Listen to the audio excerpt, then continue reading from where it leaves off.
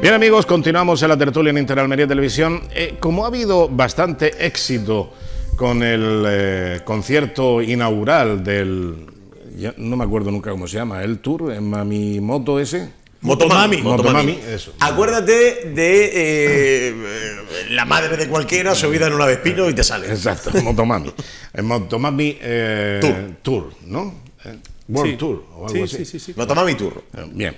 Eh, como ha habido mucho éxito con eso, pues eh, parece ser que en el Ayuntamiento de Almería se está pergeñando de alguna Aunque, manera. aunque tú lo consideres incomprensible, Sí, sí. eh, es un fenómeno que está más allá de toda cogitación. Hombre, sin duda alguna. Sí, sí. No he de oído Motomami? todavía ningún coche. Sí, sí, lo de, lo de esta muchacha es No, extraordinario. no, pero eh, pensaba que te referías al título en sí, a Motomami. Ah, bueno, yo- como si lo hubiera, como yo si hubiera llamado. No, no me opongo a la realidad, Claro, José. claro. La realidad es esa, eh, que, Que sí, todos que los sí. coches eh, deportivos eh, que exhiben a 112 decibelios el reggaetón ese tan odioso, eh, por todas las calles de Almería y altas horas de la madrugada, me parece que es una auténtica realidad. A mí me habría, me habría Pero- parecido tan hermoso. pero que me parece tan de esos- odioso. Que uno de esos descapotables eh, pusiera a las 3 de la mañana toda leche algo de Mendelssohn, por ejemplo, Sí. sería extraordinario. Pero no, no. no. Perderíamos el sueño. O sea, no, no- ¿Qué ha pasado? No nos encontraríamos. ¿Qué sucede? ¿Qué sucede? Aunque, aunque fuese, ¿qué, te digo yo? Deep Purple, por ejemplo, que no estaría mal, ¿no? Bueno. ¿Eh? No estaría Bueno, mal. yo que sé, grandes éxitos de Torrebruno, por ejemplo. Bueno, pero eh, me, me quedo Torre- con la siempre sale aquí. O sea, ah, otra vez ha salido este hombre, ¿Qué- Torrebruno. un intérprete alternativo. Que por cierto, tú dices que no conoces Rocky Chaparro. Rocky Y. Rocky Chaparro existe, es un éxito de Torrebruno, un personaje, un investigador, alguien que se escamo, se, se- Presenta emociones. emociones, Ah, presentaba emociones, porque se escudriñaba los, los grandes crímenes y entonces descubría con su lupa y con su pipa. Tigre, Ah, tigre, no Tintín. leones. No, no, es Todos Rocky Chaparro. campeones. Rocky Chaparro. En Gabardina y en Tirantes investiga y con su lupa, Tigre, que chupa chupa, Leones. Bueno, bueno, bueno. Ya- otras pistas que dejaron ladrones y compañía, existe. No me lo invento. bueno, bueno, pues yo eso no Te, lo te lo recomiendo. Para tu, para tu nieta. Querida audiencia, este es el único programa del mundo capaz de mm, incluir en el mismo tramo a eh, Rosalía y a eh. Y a. Esto es lo que se llama E- ecléctica musical. eclecticismo. Es lo que convierte a esta tertulia en un must. ¿En un qué?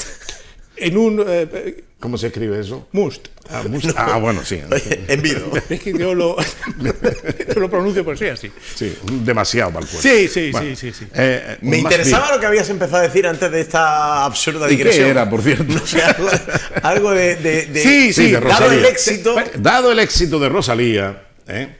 independientemente de la intervención eh, que ha digregado un poco el discurso, Pero solo un poco. eh, pues resulta que el ayuntamiento dice, hombre, pues vamos a ver si podemos preparar otro pelotazo cultural eh, de trascendencia nacional e internacional. de sitio, lo de pelotazo. Otro pelotazo, eso en otro ámbito. Hombre, esto se llama a dar un pelotazo que no vemos un, Otro pelotazo. Pero, eh, no estamos hablando en clave urbanística, estamos hablando de éxito, eh, de, de- de- de, yo que sé, de un concierto o algo así, ¿no? Sí, sí, Un sí, taquillazo, un pelotazo. Sí, sí, sí, sí. Vamos a eso.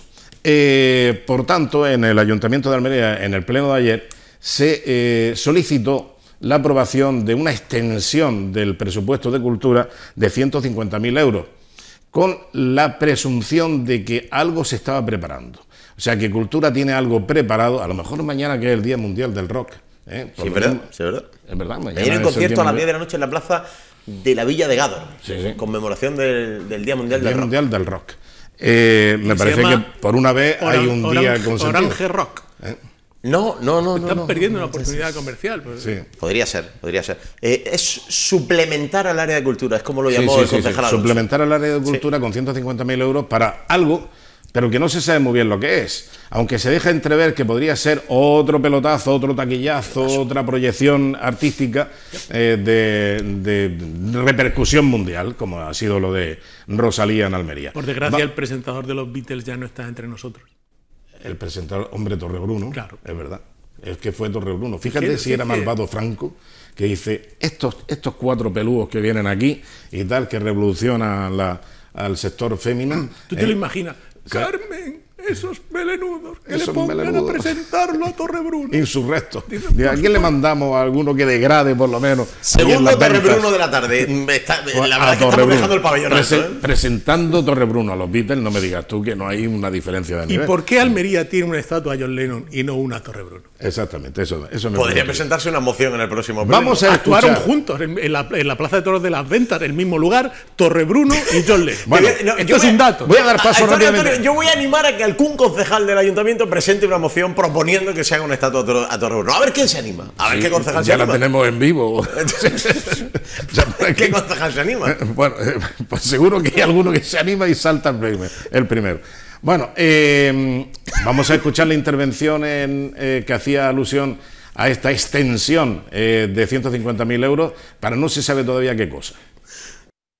Yo creo que sería un poco atrevido a lo mejor empezar a decir nombres de artistas, crear una expectativa, unas falsas expectativas en la ciudad de Almería y que luego no se materializaran. también nos criticarían ustedes por eso, estoy convencido. Que dentro de ese presupuesto se está negociando, estamos compitiendo con otras ciudades por traer aquí algún evento de cierta relevancia. Y nos parece prudente, nos parece responsable, señor Cazorla, nos parece responsable que hasta que no culmine esa negociación, hasta que no consigamos eh, firmar, en el caso de que así sea, pues no darle publicidad a algo que ahora mismo no existe, simple y llanamente. Bueno, que no vaya a ser que alguien, como aquel, aquel rótulo que había en los bares, hace un día maravilloso, ya verás tú cómo viene alguien y lo fastidia o lo joroba. como los grandes fichajes, tú no puedes decir... Y eh, siempre está presto El Almería va por Lewandowski, no, es el, no es el caso. El Almería va por Paquito, que Paquito es la estrella, de, el Maradona de los Cárpatos, Paquito. Cárpatos era George Haji. Bueno, bueno, sí. Y entonces el representante de Paquito dice, ah, que la Almería, pues si Paquito vale 5, pues mañana vale 7. Y cuando la Almería va a decir, oye, que me decíais que 5, dice, no, ya son 7 porque se le da publicidad a esto, pues imagínate. De todas maneras, yo, que hace muchos años que no voy a un pleno del Ayuntamiento de Almería, ayer, por diversas circunstancias, vamos, que tenía otra cosa que hacer cerca y se, no se pudo hacer, y digo, bueno, pues ya que estoy aquí y había pleno, me voy a acercar. Y estuve un rato, como unos 50 minutos en el pleno. Es audiencia pública, puede entrar cualquiera. Sí. nadie, se, nadie, sin nadie se atrevería a decirle a alguien, usted no puede pasar al pleno del ayuntamiento. Yo, mira, como soy un hombre muy prudente, me asomé, vi que no había ninguna pancarta que me prohibía la entrada y entré.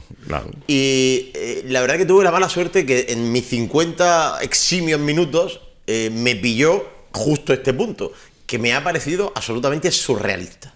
Es decir, eh, que primero, estamos hablando de 150.000 euros, que, hombre, a todos nos vendrían bien, pero dentro de un presupuesto municipal es una parte pequeña. Es decir, no estamos hablando.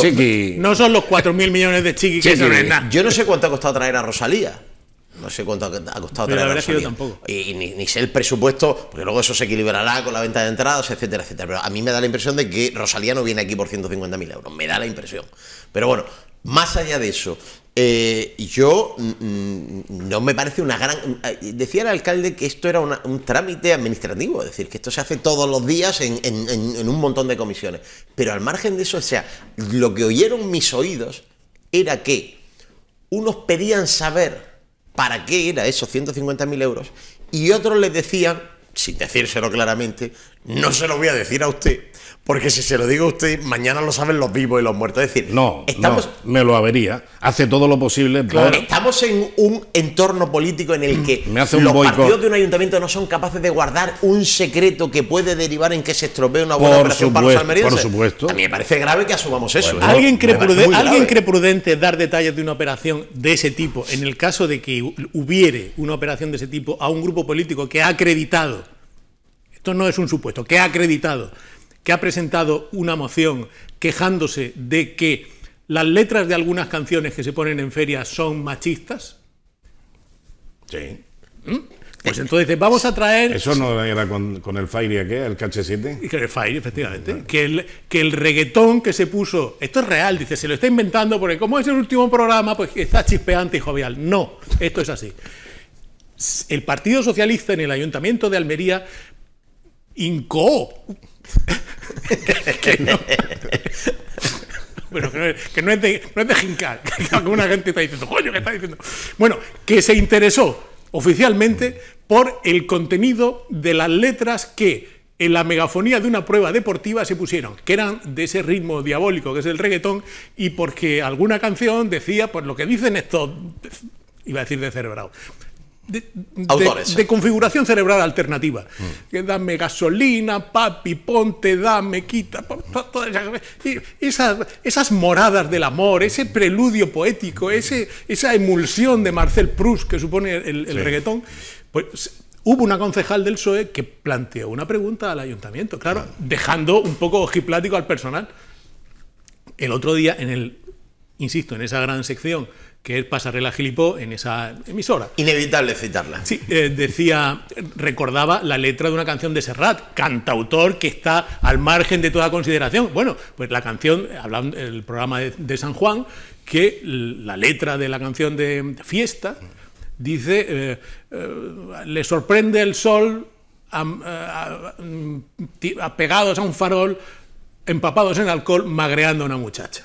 Sí. Y todos lo, lo han cantado, lo hemos cantado, qué bonito. Esa canción ahora sería manifiestamente imposible de tocar. Y si lo- Esa, fue, ahí lo Eh, mencionaste cuando hablábamos del que cogía una botella de ron y se unía a la fiesta con sus vecinos. por ejemplo, Creo que era así, creo que era en ese momento. Pero es que hasta el, el- el gran juglar de la extrema izquierda, que ha sido Pepe Ibáñez, digo Paco Ibáñez, eh, cantaba la mauvaise reputación, eh, la mala reputación en el eh, en París, en el Sí, Olimpia. sí, sí, sí, eh, sí. Y claro, hablaba de los cojos, de los ciegos, de tal. Todo eso no se puede decir ahora. Políticamente salvo los, cojos, salvo los cojos es natural. Claro, Claro, pero ahora es cada natural. canción tiene que decir, salvo los discapacitados, no sé Es qué, que es ya natural, ya no, es- no rima. Ya es muy difícil, ya Por hay que hacer ahí una, letra vez muy más, una vez alambicada. más, eh, lanzo un rompo una lanza, con perdón, no es una cosa militar, rompo una lanza eh, mm, en contra de la dictadura que supone el discurso políticamente correcto. Toda esta mm,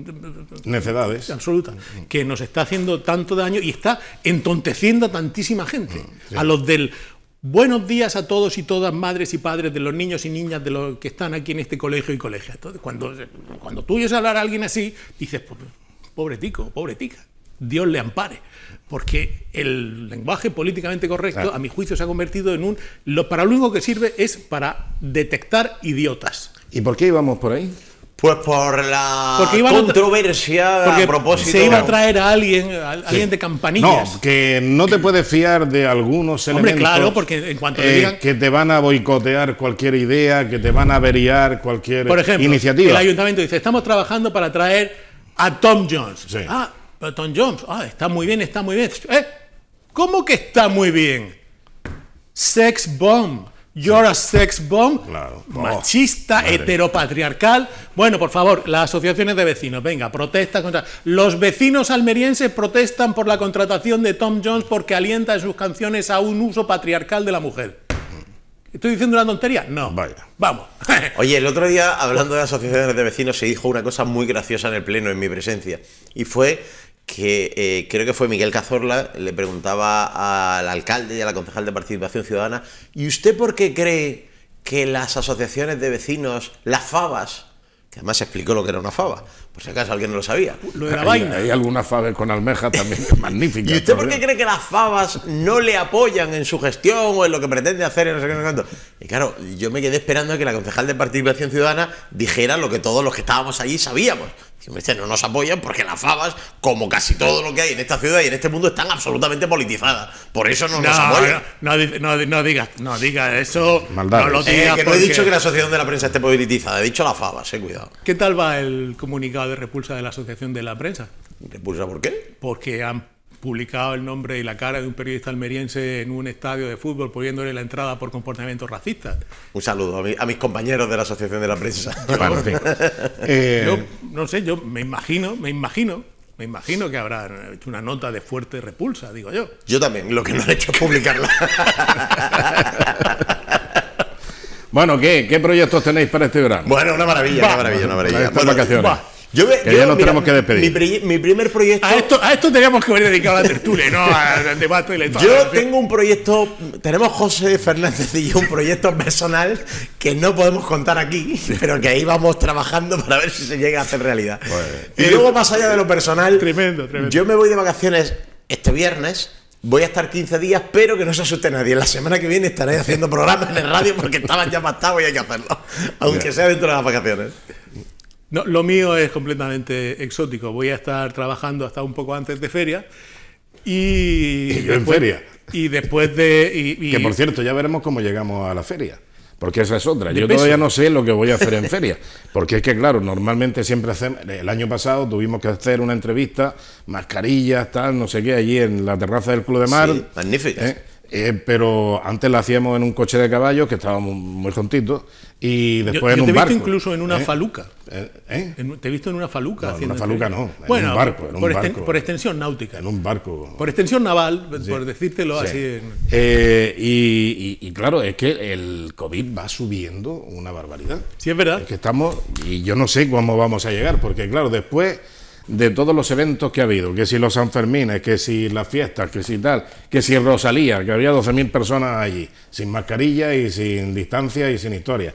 Pues bueno, pues vamos a esperar a ver cómo... Bueno, los bailarines de Rosalía sí llevaban una especie de. pues sería atrecho. Estaban, estaban a salvo entonces. Eh, sería el atrecho. No creo que, sea, que fuera por... No, pues nada, yo eh, quiero desear un- que sea un verano bueno para, para Almería, que sirva para que muchas empresas de Almería eh, continúen su recuperación, que se cree mucho empleo, que haya mucha riqueza, que la gente se lo pase bien, que disfrute, que se olvide de la, de la política temporalmente y que lleguemos bien a la feria. Con eso yo ya me conformo. Bueno, y a ti se te ha olvidado mm, decir que hay un contubernio periodístico en ciernes. Vas a ver, esto pasa lo mismo que con lo, con lo de los 150.000 euros de la ley de cultura. Si los vamos a contar, pues entonces mal- malamente va a ser un contubernio. Ya, ya, ya. Malamente, malamente. Pero bueno, que... De todas maneras, ha habido alguna ausencia notable en, en la, en, el- en la En la primera composición, cita, eh, sí. y entonces así mal vamos. O sea, se en- empieza a ver la, las car- ausencias. la carta fundacional eh, del contubernio sociopolítico almeriense. El, el último contubernio que, que yo conocí fue el de, el de Múnich. Múnich. que eso era eso fue un invento del, del franquismo pues para hablar de eh, que las fuerzas ocultas todas esas cosas Hombre, claro, como dice Pedro Sánchez ahora. incluso en su última locución pública Franco también Toda- aludió a claro, la autocracia Es la- al contubernio, el contu- contubernio judeo-masónico. judeo-masónico. El Claro, eso era contubernio, Franco. la apelación a fuerzas oscuras y a situaciones Claro. nebulosas es índice inequívoco de fin de régimen. Que, que, lo, que lo piensen los palanganeros que están hablando ahora, ¡Eh, los del puro, los del puro, pero eh, ¿quién, ¿quién fuma ahora puro? Salvo algunas contadas y nobles excepciones. Claro. Yo bien. podría relatar algunas. Bueno, eh, veo que terminamos ya la tertulia y lamentablemente no, no ha dado tiempo a hablar de Hermua, pero me parece una cosa notable. Es decir, eh, bueno, eh, habéis hablado brevemente vosotros. Es decir, venimos de un fin de semana en el que el presidente del gobierno ha dicho que Euskadi y España son dos países. Es decir, ha dado por sentado la, independencia de Euskadi con respecto a España y ha ido el tío a decirlo en el acto de homenaje por los 25 ase- eh, años del asesinato de un señor que murió por defender la unidad de España y la pertenencia de Euskadi a España. El día que se celebraban y se le homenajeaba en el 25 aniversario de su muerte, el presidente del gobierno español ha ido allí a decirle en la cara a la hermana, mire usted, tu hermano ha muerto defendiendo a la unidad de España, pero es que España no es España. España al- es, y al son rey- dos países, España y Euskadi. Y al rey que dijo, ah, pues ya soy rey de España y de Euskadi. Coño, fíjate, mira Leticia, he- salí de esta mañana de, de Palacio siendo rey de España, ahora soy de rey de España y del Pues País José, Vasco. es muy, Magnífico. muy gracioso todo, pero mm, esto nos lo hemos comido también como todos los demás. Hay- va, va a haber especial atención esta semana en la sección Pasarela Gilipó a ese momento auténticamente indignante. Bueno, chicos. Como eh, ves, no podemos despedir la tertulia con buenos deseos y con esa alegría que había dicho No, no, José. no, que, que lo paséis bien. La cabra tira al. Igualmente te digo, José, que lo pases muy bien. Y nosotros volvemos eh, mañana, que estaremos aquí de nuevo en otra edición de la tertulia. Así que muy buenas noches y hasta mañana, amigos.